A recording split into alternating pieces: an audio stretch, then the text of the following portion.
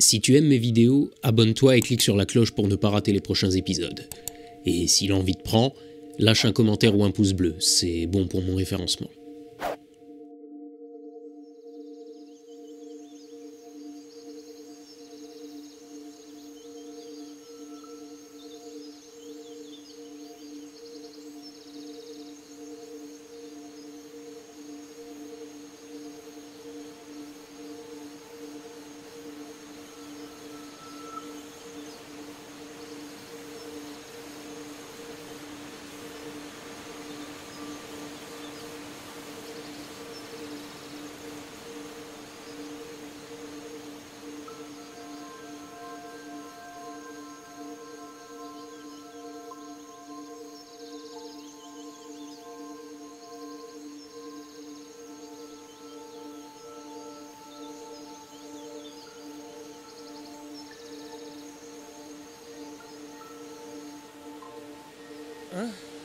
Non, ça va. Baisse un peu la main.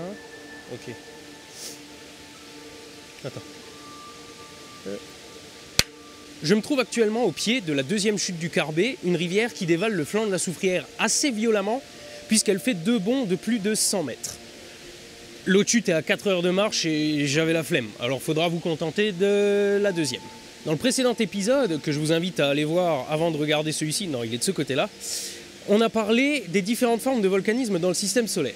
Tourner un épisode sur les volcans au sommet d'un volcan, c'est raccord. Mais alors, pourquoi tourner la suite au pied d'une chute d'eau? Eh bien, parce que le volcanisme qu'on va évoquer aujourd'hui ne fait pas intervenir de lacs de soufre fondu ou de geysers de lave. Le volcanisme dont on va parler aujourd'hui fait intervenir de l'eau.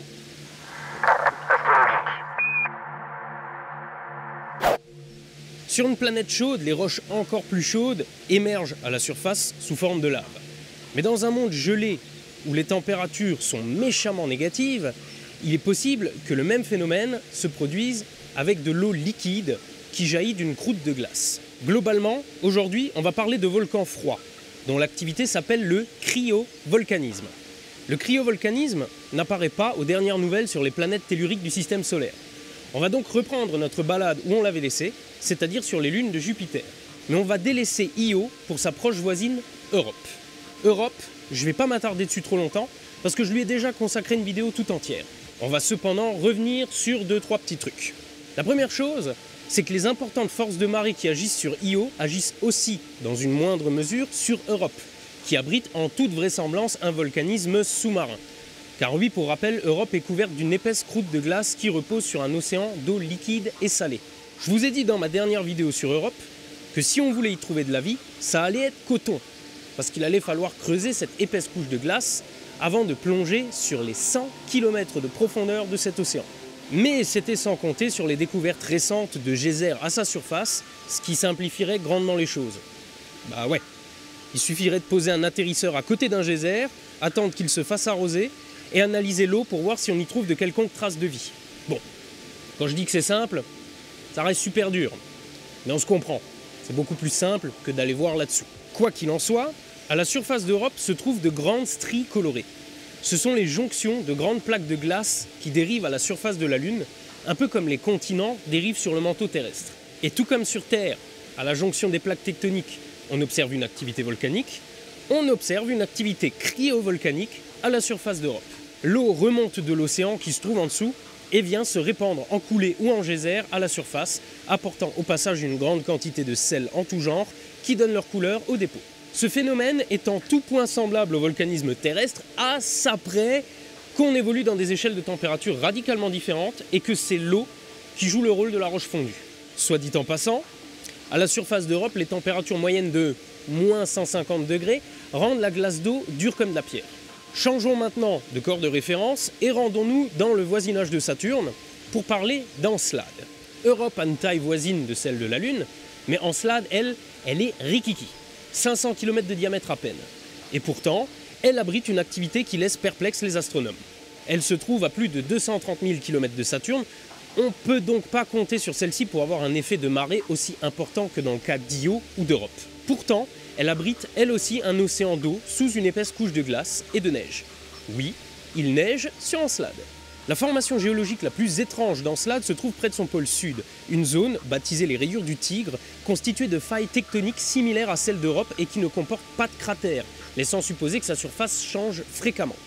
Dans cette zone se trouvent quatre grandes failles d'environ 2 km de large et 500 mètres de profondeur, s'étirant sur 130 km de long et séparées de 35 km.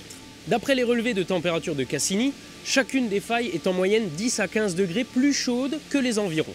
De ces failles jaillissent des geysers qui gèlent instantanément et qui montent à plus de 500 km d'altitude, entretenant ainsi l'atmosphère d'Encelade ainsi que l'anneau E de Saturne. L'anneau E, c'est le dernier et le plus ténu des anneaux de la géante gazeuse, et son existence est due quasi exclusivement aux geysers d'Encelade. Ces geysers sont composés d'eau et d'un mélange de composés carbonés qui ne sont pas sans rappeler le gaz naturel. Donc chaleur, eau et composés carbonés, a priori, hmm, il y a tout ce qu'il faut pour abriter la vie là-dessous. Mais encore une fois, je vous renvoie vers ma vidéo, non c'est de l'autre côté, je vous renvoie vers ma vidéo dédiée à Europe pour approfondir le sujet. Des volcans d'eau, c'est pas mal, mais il existe encore plus froid. Rapprochons-nous un peu de Saturne pour aller jeter un œil à Titan, le plus gros de ses satellites. La radioactivité de son cœur et les marées provoquées par Saturne lui confèrent un noyau chaud, mais les volcans de Titan se distinguent par leur nature les cryovolcans de Titan crachent des panaches de méthane qui se répandent sur une surface de glace d'eau, d'ammoniac et de divers hydrocarbures.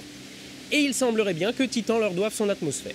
On trouve de même peu de cratères d'impact à sa surface, ce qui laisse entendre qu'elle évolue vite à l'échelle géologique. Titan est balayé par les vents et arrosé de pluies de méthane, il faut donc aussi compter sur l'érosion et pas juste le cryovolcanisme pour modifier sa surface.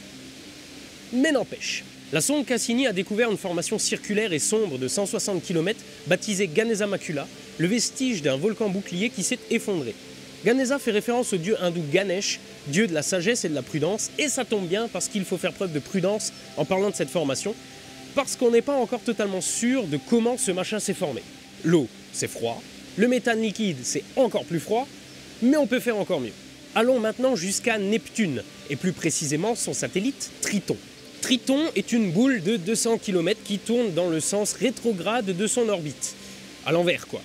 Cette particularité fait dire qu'il ne s'est pas formé autour de Neptune, mais qu'il est plutôt un objet de la ceinture de Kuiper, dans le style de Pluton, que la géante a capturé. Tout comme Phobos s'approche de Mars, Triton s'approche de Neptune, et il devrait s'y fracasser dans une centaine de millions d'années. Dans le genre objet froid, Triton joue encore dans une autre catégorie. Il possède un noyau de fer et de roche, mais un manteau fait de glace d'eau et une croûte d'azote solide. Pour rappel, l'azote liquide, c'est moins 200 degrés. Là, il est solide, avec une température moyenne de seulement 35 degrés au-dessus du zéro absolu. Triton, lui aussi, a très peu de cratères à sa surface, et vous vous en doutez, lui aussi possède des geysers, d'azote cette fois, dont on a trouvé trace sur la calotte polaire sud. On ignore beaucoup de choses sur cet astre parce que la plupart des infos qu'on en a nous proviennent de l'unique survol de Voyager 2 en 1989, qui a cartographié un peu moins de la moitié de sa surface on a néanmoins pu en faire cette photo. Les traînées sombres que vous pouvez voir, ce sont les geysers froids à la surface de la Lune. L'azote est instantanément vaporisé en sortant, emportant avec lui des poussières qui se déposent au sol et laissent ces traînées sombres. Cette calotte polaire est constituée d'une couche d'azote récente, de quelques siècles tout au plus. Il y a fort à parier que les mêmes phénomènes se produisent sur l'autre calotte, euh, mais on n'en sait rien et on ne le saura pas avant qu'une autre sonde ne survole cet astre. Un peu plus près de l'équateur se trouve une zone, elle aussi cartographiée par Voyager 2, qui semble recouverte d'un liquide visqueux solidifié qu'on appelle cryolave. C'est probablement un mélange d'eau et d'ammoniac. On compte aussi quatre plaines rondes avec un rebord qui pourrait correspondre à des cratères d'impact remplis par la suite de cette cryolave, un peu comme les mers lunaires. Allons encore un peu plus loin et jetons un œil à Pluton. Bon, on est d'accord que c'est plus une planète, mais on lui garde un attachement particulier, et surtout avec le survol de la sonde New Horizon, on dispose quand même de pas mal de détails la concernant. Et donc, côté cryovolcanisme, bah, on n'a pas de certitude. On a trouvé à sa surface deux structures, le mont Picard et le mont Wright, qui sont à peu près rondes avec une dépression au milieu, mais on n'y a noté aucune activité, et donc on ne peut pas en tirer de conclusion. Bien évidemment, on pourrait poursuivre sur le volcanisme et aller encore beaucoup plus loin pour titiller les exoplanètes. Mais c'est un exercice auquel je ne vais pas me plier parce que vous vous en doutez, si on sait déjà si peu sur les objets du système solaire, faut pas trop en espérer de planètes qu'on n'a même jamais vues. On est bien capable d'identifier certaines d'entre elles comme étant volcaniques, à cause de leur proximité à leur étoile qui en fait fondre la croûte, ou bien euh, des planètes très jeunes et pas encore refroidies, qui ressemblent probablement à Mustafar, la planète de Star Wars. Quoique je préfère les comparer à ce à quoi ressemblait la Terre peu après sa formation. Néanmoins, je ne vais pas plus m'attarder sur le sujet parce qu'en termes de planètes recouvertes de volcans, je crois qu'on a déjà vu du bien concret dans le dernier épisode. Revenons donc un instant dans le système solaire. Après la ceinture de Kuiper, il reste encore le nuage d'Oort. Dans ce nuage se trouvent des objets parmi lesquels certains chutent dans le système solaire intérieur, donnant naissance aux comètes. Dans le nuage d'Oort, ces objets sont plutôt à l'abri d'agressions trop violentes, et les éléments qui les composent se tiennent à peu près tranquilles. Mais quand ils approchent du Soleil, le rayonnement et les vents solaires réveillent leur surface, et on parlera de ça dans le prochain épisode. je sais, ça arrive comme un cheveu sur la soupe, mais vous en faites pas, ça vaudra le coup d'attendre la prochaine vidéo dans deux semaines. D'autant qu'en plus, je serai accompagné d'un invité de marque. Je vous dis donc à dans deux semaines, et en attendant, levez les yeux au ciel et soyez astronogeek. À la revoyure